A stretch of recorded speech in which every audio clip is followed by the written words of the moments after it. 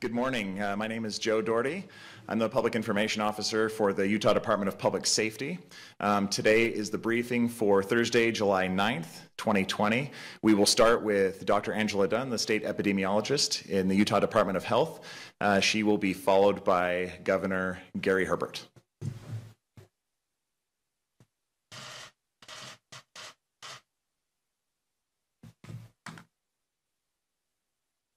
Okay, good afternoon. We now have a total of 27,356 cases of COVID 19 in Utah. That is an increase of 601 from yesterday. And we've tested 388,733 Utahns for COVID 19.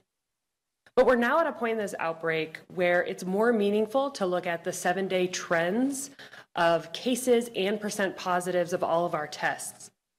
This allows us to really identify meaningful trends in our data, and it decreases the noise from this day to day fluctuations we're seeing.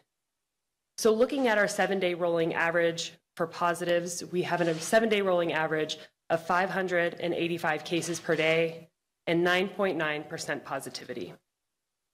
We've seen an increase in cases in our ages 15 to 44 years.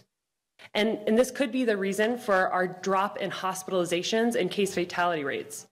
6.2% of our cases have required hospitalizations, and that's compared to 8% earlier in this outbreak. And our case fatality rate is now 0.75% compared to 1% earlier in the outbreak. While this is encouraging, all ages should continue to physically distance when possible, wear face masks, Stay home when you're sick and wash your hands. The more cases we have in our community, regardless of the ages of the cases, increases the risk to our vulnerable populations. And we all need to do our part to control the spread of COVID 19 in Utah. I'd like to briefly touch on the Healthy Together app and some changes that are occurring. So this app has been in place for now three months, and we've been able to really understand how individuals are using it and the utility to our response. 58,000 Utah residents have downloaded the app, and they're mainly using it to assess their symptoms and be referred to testing. Users have completed 500,000 symptom assessments, and 18,000 individuals have been referred to testing. We've learned over the course of the past three months that location tracking isn't popular and as a result, it hasn't really been helpful to our contact tracing efforts. So for that reason, we are going to be turning off GPS and Bluetooth location tracking. Those components of the app will no longer be there. But the app will continue to be an important part of our response. It's a great way for individuals to be able to assess their symptoms, be connected to testing, receive their test results, and also get information about what they should do next to protect themselves and their loved ones. We hope these changes to the app will encourage more Utah residents to download and use the app in order to prevent spread of COVID-19. Thank you very much.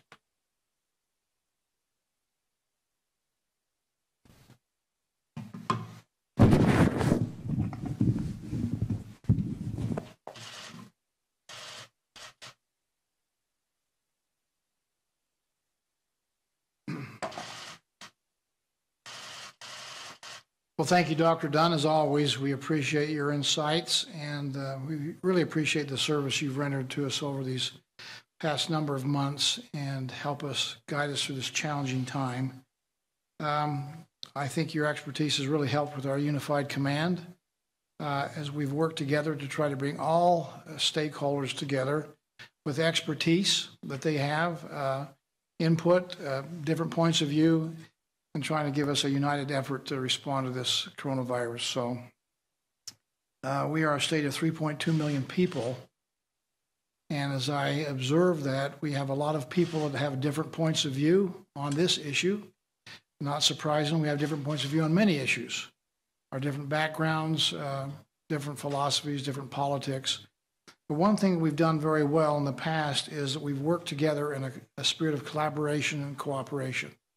And as I look at this pandemic, uh, that culture that we have here in Utah is needed now uh, more than ever. The ability for us to work together for the common good, the desire for us to, in fact, find ways to solve the problem. and uh, recognize it's not just about us, but it's about the people we live with here in the state of Utah. Um, this pandemic uh, has really been a unique situation we've never seen really uh, in Utah, certainly in the last hundred years. Uh, it's uh, the curveball of all curveballs that have been thrown at us, impacted our way of life, our economy, uh, what we typically would be doing uh, with our social lives, with our families. Uh, you know, it's just impacted every aspect of it. And um, there are parts of this that, uh, you know, we need to work better on as far as disagreement. Again, I know there's different points of view, but one thing we should not disagree upon, and that is the desire and need we have to protect people's lives, the health, safety, and welfare of our citizens here of Utah, 3.2 million people, but also the need at the same time to make sure that our economy stays functioning. It's a big, important aspect. And by polling, we have now a situation where people are more concerned about their livelihood than they are the health of the, the state as a whole. So, again, these are not mutually exclusive ideas. Uh, in fact, they are joined together at the hip. Uh, we need to stay safe to stay open, stay safe to uh, hopefully corral the spread of the coronavirus in order to have a healthy, growing economy. They do work together in concert. Let me, if I could, uh, just make a few observations here pertinent to where we find ourselves as a state today. Uh, one, the culture of Utah is one that's fairly unique in that we, in fact, for the last 13, 14 years, have led the nation in volunteerism. We actually do help our neighbors. We go out of our way to find uh, those people in need and see what we can do to give them a helping hand. That's been recognized by national publications and certainly those of us who live here know that's part of our culture and way of life. We also lead the nation when it comes to charitable giving, taking of our own resources and donating it to those who are less fortunate and have a need. Uh, that tells me that the people of Utah really do care about their neighbors. They care about their family, they care about their neighbors. And when I say neighbors, those that they know and those that they don't know, those who reside in their town or community or across the state. And certainly they care about the people of America. And they show it by their actions. I think as a state uh, and as a people, we did very well the first three months of this coronavirus. It got to us here in Utah really the first part of March for those next three months, we had people that really sacrificed. Uh, we had a plan that we put in place that uh, kind of told us what we should be doing, and, and we had to stay safe, uh, stay home to stay safe. Uh, we did we restricted travel. Uh, people sacrificed and, and curtailed a lot of their activities to adjust to see if we could bend the curve on the infection rate. We were at about five. We bent the curve down to about four. And in so doing, we're able to, in fact, loosen restrictions and open up the economy. Now, I, I, I hasten to add, we've never really restricted too um, uh, dramatically the economic opportunity of Utah. In fact, we've been listed as the uh, probably the third or fourth least restricted state in America in this process. That being said, we certainly have had a plan in place uh, that we've tried to follow and we've always said that we have all individual responsibility to follow the plan, to work together to see if we can, in fact, uh, control the growth of the virus. And for three months, it worked very well. Um, I appreciate the work of the people of Utah, but we have found ourselves in kind of a unique place, not unique to other states. 37 other states right now have increasing infection rates in their respective states all trying to find out, you know, what to do with it and how to deal with it.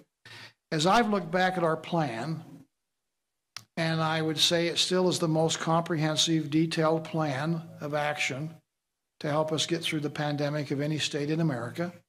It's given us good guidance, and as we've adhered to the guidelines, we've done pretty well. One of the mistakes I think that we made is as we identified by the four color coding of uh, red, uh, and then orange, then yellow, and then green. We identified them by risk.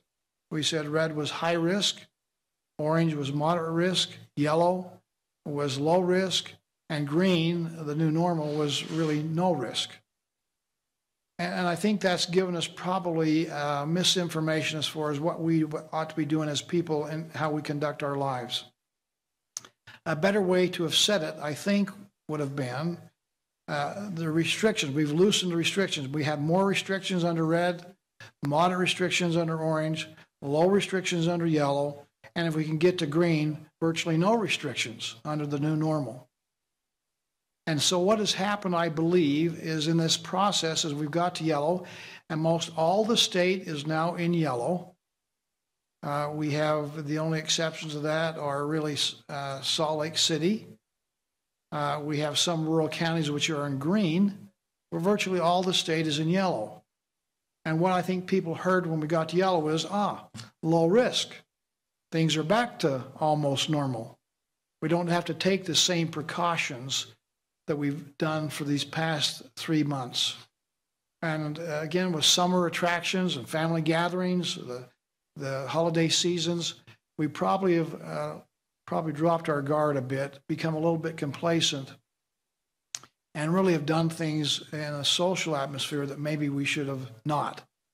Um, for example, we quit wearing masks, at least in the volume that we needed to, and yet we probably should have been wearing masks more often because now we're interacting with our family and friends and neighbors in a more social activity as we've loosened the restrictions. And yet we should have, in fact, maybe tightened the requirements and demands of, in fact, social distancing, making sure we follow proper protocol, uh, not going to work when we're sick, and certainly the wearing of a face covering. Uh, we're finding from uh, the, our science, our medicine, our healthcare providers, that one of the best ways we can reduce the, the transmission of the coronavirus is, in fact, to wear, wear face coverings. The percentage, the, the likelihood of us transmitting it or catching it go down dramatically if we follow what most of us would think is just a common sense application of protection by wearing a face mask. The concern we have today is that our infection rates uh, have gone up. Uh, today, I think uh, Dr. Dunn announced 585 new cases. Yesterday was 576. Uh, the trend is, is going in the wrong direction. And the concern is the same today as it was back in March when we started on this quest together. If we do not reduce our infection rates, as those infection rates increase, more people will go to the hospital uh, more people will then, they're in the hospital, then be transferred to the ICU units, and that will require more personnel. I'm more concerned about the personnel aspect than I am actually bed space. As we end up having more and more people go to ICU, uh, that, again, that requires specialized treatment, specialized skills, and there's only a finite number of personnel.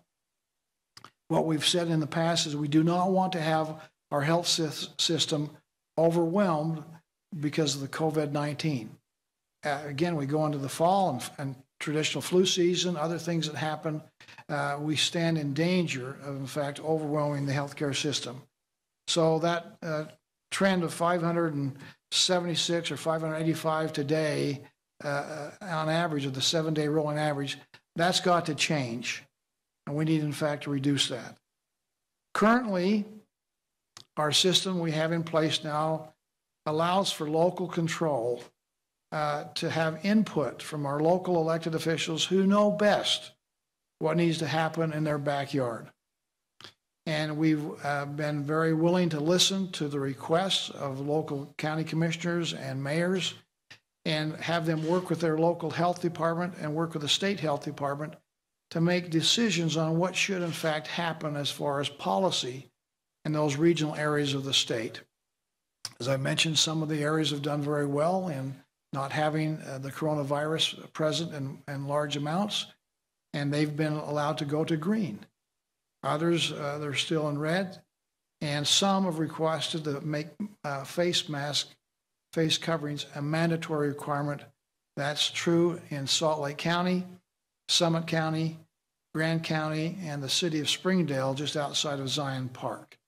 That's been a local request, which we've granted, uh, uh, uh, allowing for local control. What we have done at the state level has been if you come and work and participate in our state buildings, we are requiring everybody inside the building to wear, in fact, face coverings, a, a face mask. Again, uh, to make sure that we have a safe environment for our own employees to work, but also a safe environment for our citizens to come and do business with the government. If you go to the DMV, we'd ask you, in fact, to wear a mask when you get inside the building. Certainly, if you cannot socially distance, which is defined as six feet apart, two arm lengths, then you should be wearing a mask. It's not that inconvenient, but it can help save you from getting sick and others getting sick, uh, spread the, the coronavirus, and it's going to save some people's lives. Um, so, again, the state building, we require people to wear face coverings as part of our effort on the government level to, in fact, help slow the spread of the coronavirus. Today, uh, I'm going to add to that. And today, uh, again, as we kind of anticipate, we've had a lot of discussion with people, parents, uh, our teachers, those involved with education, uh, concerned about what do we need to do to open up our school system to get our children back in school. They've missed too much last year. That's been a hardship for many families and individuals. And so we certainly want to make sure we do whatever is necessary to make sure they have a safe environment to go back to school and to learn. Parents should expect that their children are going to a safe environment. Teachers, principals, staff members at the school should, uh, should uh, anticipate and expect that they're going to be involved in a safe environment. So, to that end, I'm announcing that we are mandating that all students, faculty, staff, and visitors to our K through 12 schools throughout this state, our 41 school districts, our charter schools, will wear a mask in the buildings and on the bus. Uh, this applies to school districts that are even in counties that are green currently. Again, we're going to use an abundance of caution and be proactive in saying we want to make sure that our schools are a safe environment for our children and for those who attend to our children.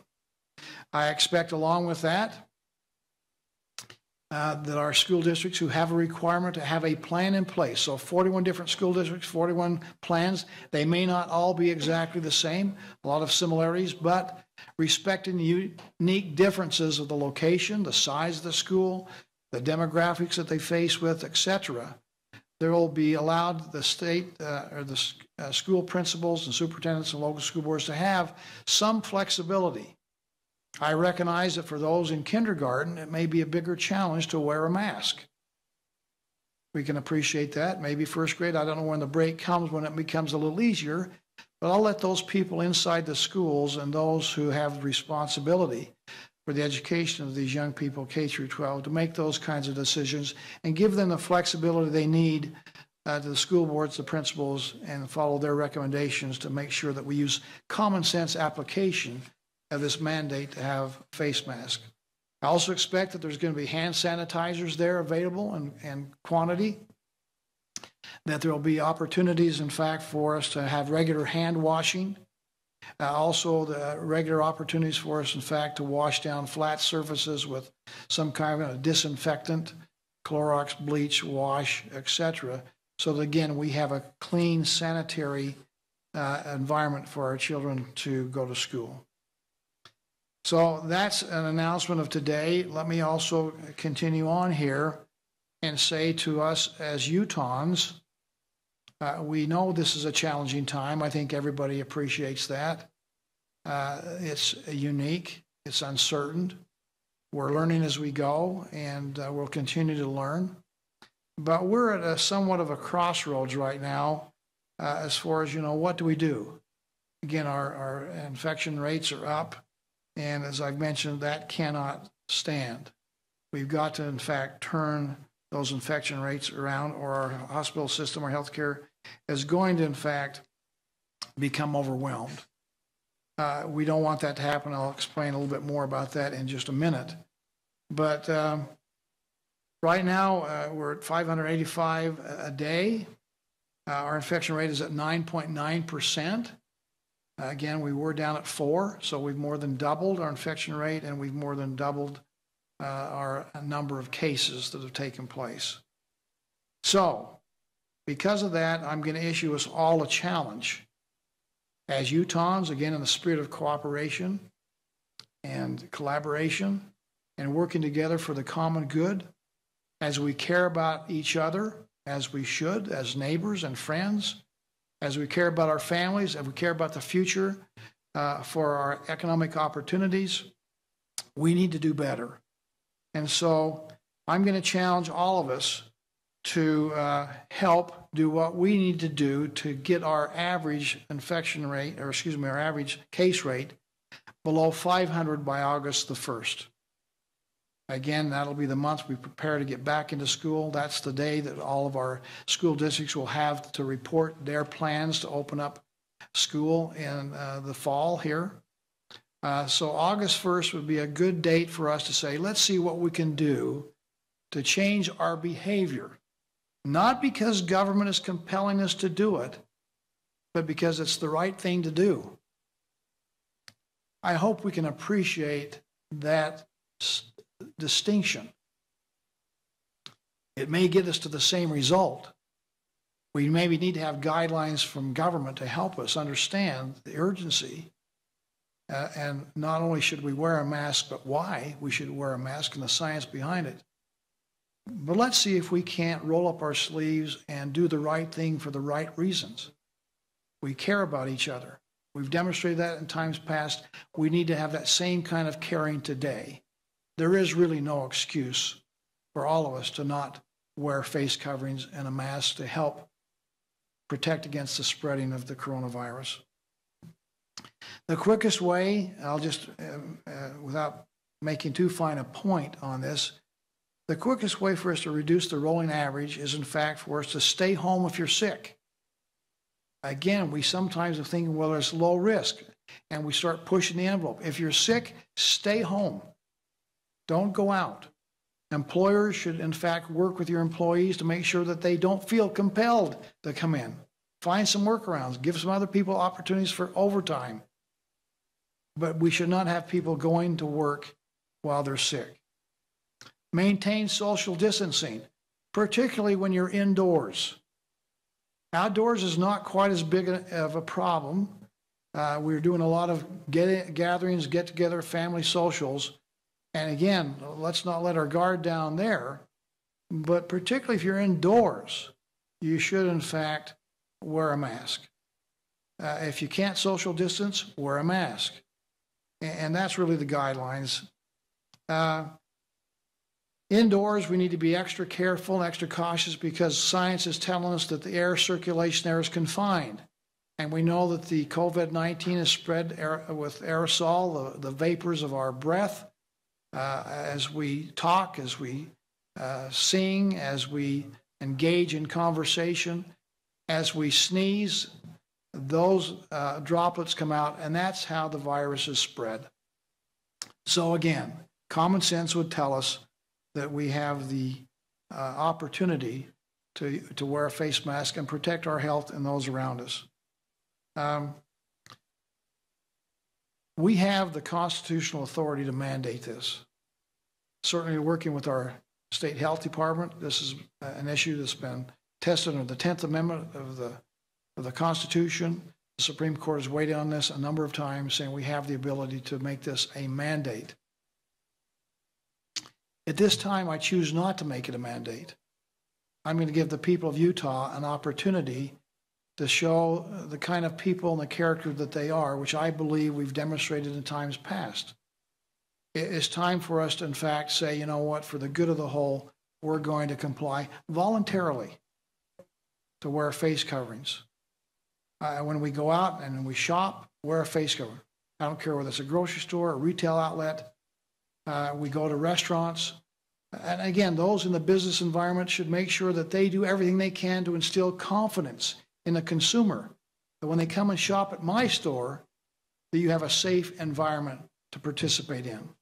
And they need to do their own creativity, innovation, find ways to make that known to the, to the consumer that uh, this is a safe environment to come and participate in. That's the onus we put on those involved in the business side of this. Uh, we have consensus by many different groups out there that this is wise uh, protocol for us all to follow. We have in our own state, uh, we have the faith-based organizations who've come together and said we encourage our followers to in fact wear a face mask and a, and a, and a practice social distancing and sanitation. But again, the emphasis is on wear a face mask. That's all the churches that I know of and, and certainly the letter that's gone out signed by uh, many. Secondly, we have the health care industry. Those people who are, that's their job is to help us be well, to help us recover if we get sick. And they are on the front lines of this issue on the coronavirus. And they're saying it's a good idea. You should be wearing a face covering. You should be wearing a mask. And now we've had the business community come out and have said, we too, as a business community at large, say we'd like to have people wear a mask. They are concerned that if we don't, you can understand the entrepreneurs, the business people, and we as consumers, the concern is if we don't, are we going to roll back from yellow to orange and put more restrictions on the economy as our plan requires and suggests? They would prefer that we don't do that, but that we wear a mask. And I prefer that that's what we do also. So as we move forward, uh, again, I think we have uh, challenges before us. Our goal is over the next uh, two to three weeks to reduce the rolling average down to below 500. That will allow us to ensure that we have capacity with our healthcare system, that we don't overwhelm it, that we can have good quality health care, That'll in fact help us to be healthy, to recover quicker, and have less fatalities in the state of Utah. It's just good common sense. It's wisdom that we should practice. Um, if we don't, we all know what the uh, ultimate results of not complying and not being able to, in fact, uh, flatten the curve and reduce the infection rate. We'll have the uh, un, uh, the disappointing decision of having to make do we in fact roll back the economy, go from yellow to orange, for example, or mandating the use of masks. Those are the options that are ahead of us. I choose to say let's let the people, in fact, make those decisions. As I said in the very beginning of this effort, when we came out with the plan, this plan only works if we as individuals take on the responsibility to do our part if we all do our part, we can in fact conquer this pandemic and slow and stop the spread of this virus and protect the health and welfare of the people we love and, and our uh, friends and, and associates, as well as continue to allow the economy to recover and become the robust number one best economy in America that we had before this uh, pandemic hit. That should be our goal. That should be our efforts as we work together. So let's do the right thing because it's the right thing to do. And uh, as we kind of sum up here, I can just tell you, I believe in the people of Utah. There's no greater uh, caring people in America, maybe the world, than the people that live right here and call Utah home. So I believe in you as we work together, wash our hands, wear the mask, put our shoulder to the wheel, push along, push along, all of us working together, we can conquer this. So I appreciate the good work you've done in the past. We need to redouble our efforts now to, to slow down this spread and reduce the rate of infection. We have till August 1st to do that. With that, I'm happy to take any questions.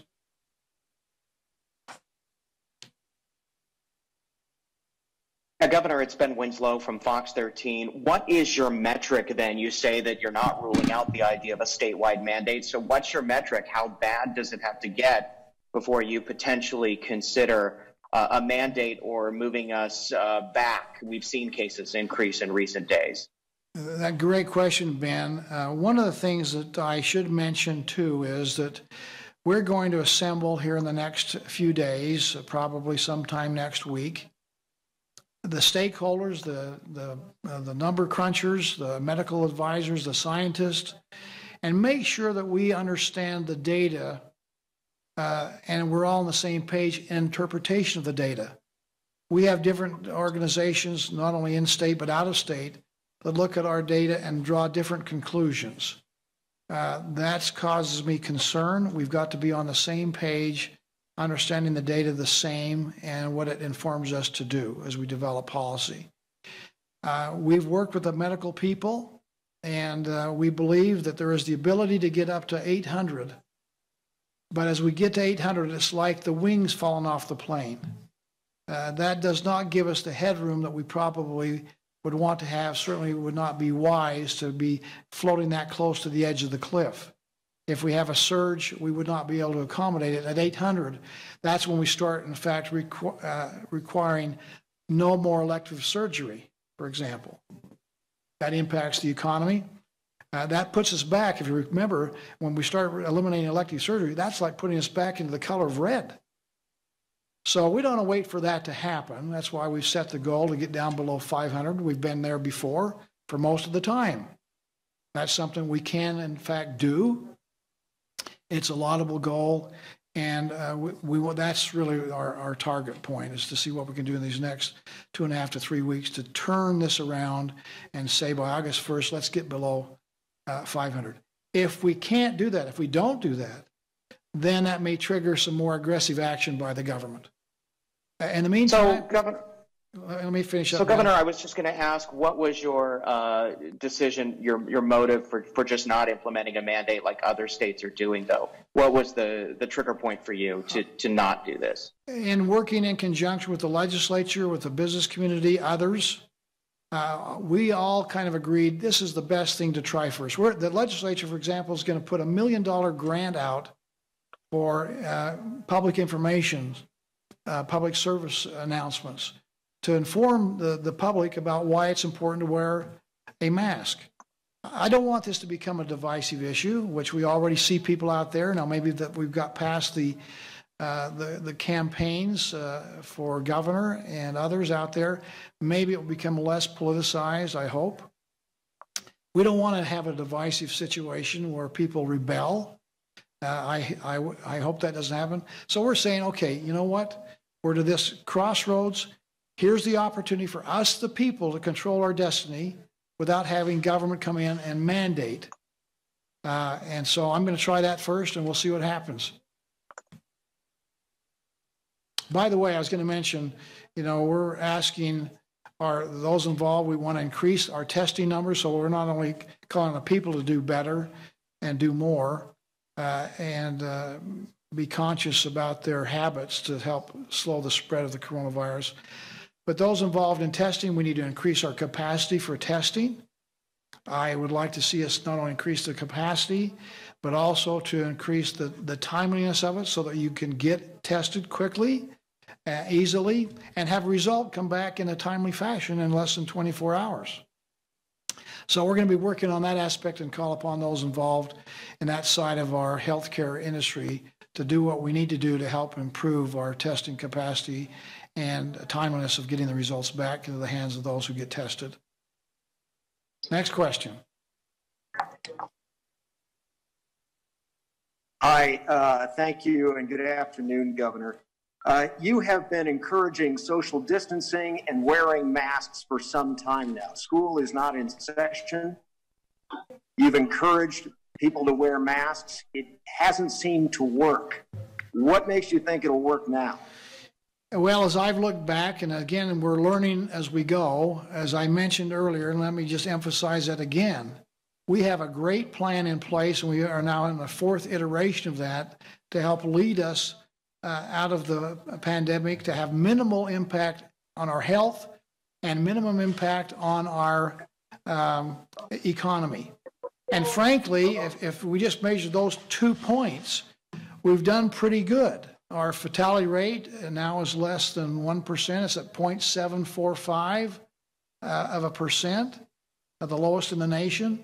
Our unemployment rate is at 8.5%, which is the second lowest in the nation. So on those two metrics, we're doing pretty good. I'm concerned about what's going to happen. I want to keep them low, and if this rising rate of infection is causing me concern. as I've mentioned, I think in looking back of where we've been and what we've done and what we should have done better is in labeling the, uh, the red, orange, yellow, and green, not as far as high risk, moderate risk, low risk, and no risk. We should have said they all have risk. And we've certainly said with our vulnerable populations that it's still red for you guys. There's a risk out there. And what we did not anticipate is that people would change their behaviors and be a little more casual and cavalier. I get reports all the time of we've had these holiday seasons where family gatherings, people are not practicing social distancing, they're not wearing a face mask. We've become a little bit complacent and lackadaisical. And I'm saying we can't do that. We've got to reverse that trend and say, let's take it seriously. We've got to do our part.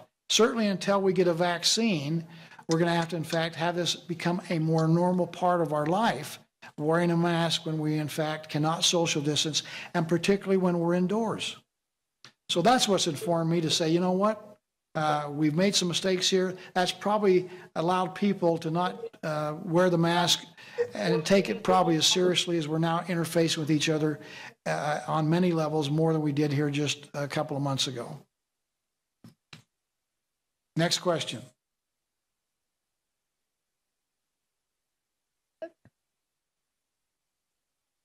Hi, Governor. Uh, this is Jacob Klopfenstein with KSL.com. Uh, just a quick clarification, and then I did have one other question. Um, a few minutes ago, when you were answering uh, Ben Winslow's question, you made uh, mention that uh, the the healthcare folks have said we can get up to 800. Um, is that referring to that seven day rolling average? Yes.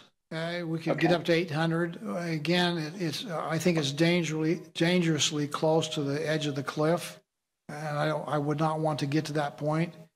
Um, I think we're learning as we go how we can in fact increase capacity uh, and different things that were taking uh, place. I think people are learning more how to uh, to uh, deal with the COVID-19 when you get it it appears to be, and we need to check the data on this. I, there's at least a theory that the, the that people are having less severe reaction to the COVID-19, which leads to less time in the hospital for those who need it.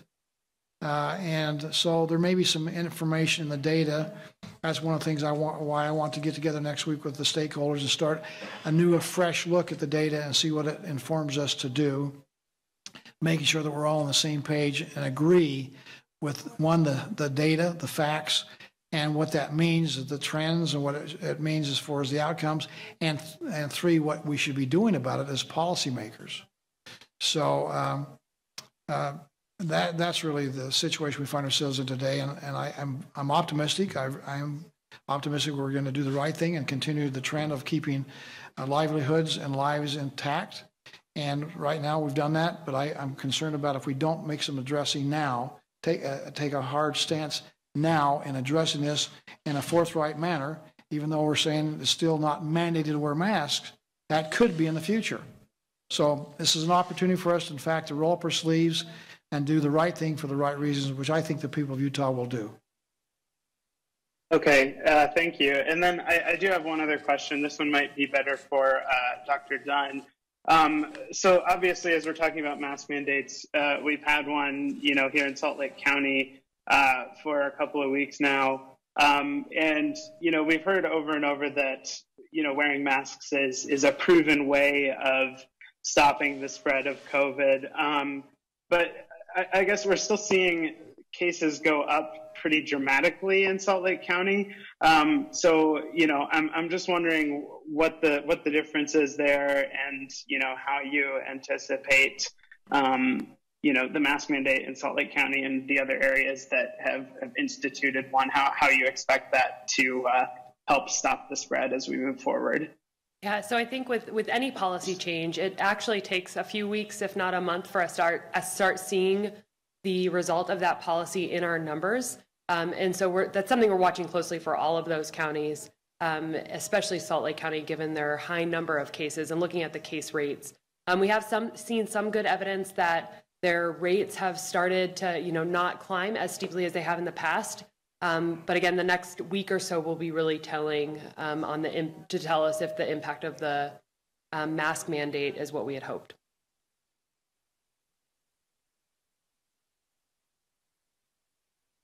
You know, let me just add that's part of the challenge we face here in developing policy is that there's a lag time. It's hard to identify, here's the cause and here's the effect. It takes some time to do that analysis. And sometimes it's hit and miss, and sometimes it's a nuanced difference. Um, eh, We have gatherings that take place because of holidays, summer vacation. We've had protesters downtown Salt Lake. I mean, there's a lot of different variables out there that kind of uh, kind of confuse the issue. But the lag time is really one of the hardest things for us to analyze. That's why I want to see what happens over these next three weeks with a renewed emphasis on us all wearing the mask at appropriate times when we cannot social distance. And let's see what the numbers end up being then. I appreciate the fact that Dr. Dunn has indicated it does look like maybe we have a plateau. Uh, it's a higher plateau, which is not good, but the plateau, if we could plateau, that's a good thing. So our- goal is to reduce it to below 500 uh, Uh, on average per day. If we do that, that will declare some great success and we're moving in the right direction. Next question.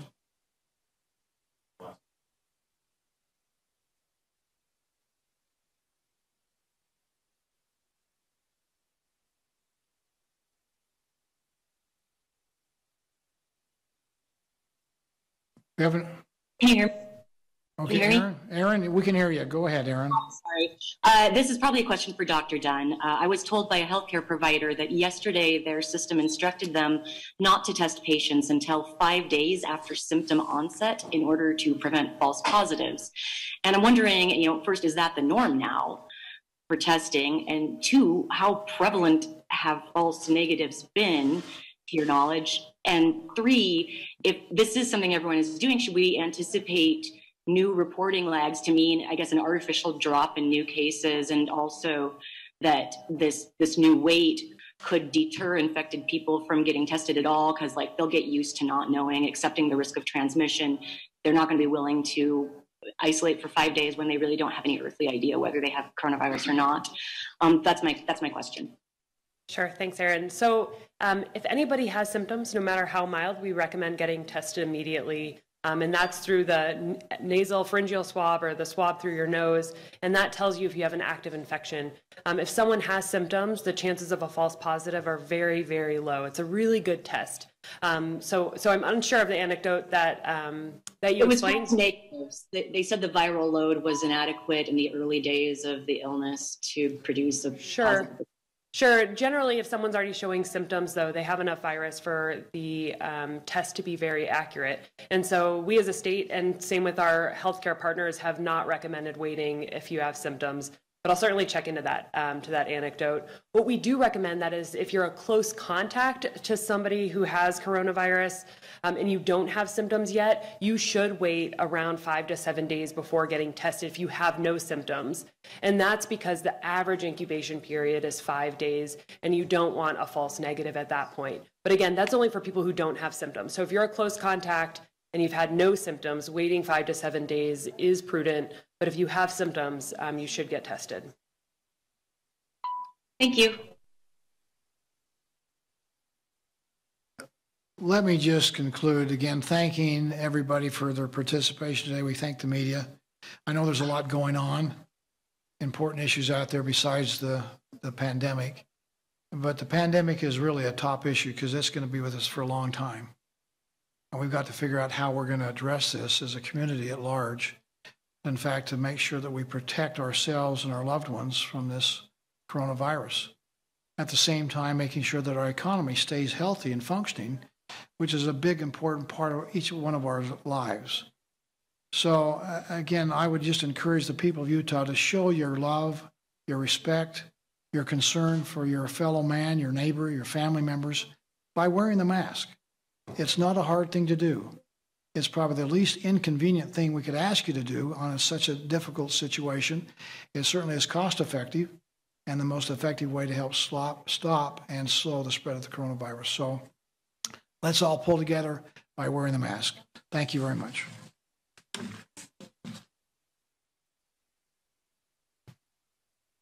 Thank you, Governor and Dr. Dunn. This will conclude the briefing for today. We also appreciate our American Sign Language interpreters and our Spanish interpreters uh, who have helped been helping get this message out to as many Utahns as possible. Thank you, and we'll talk to you next week.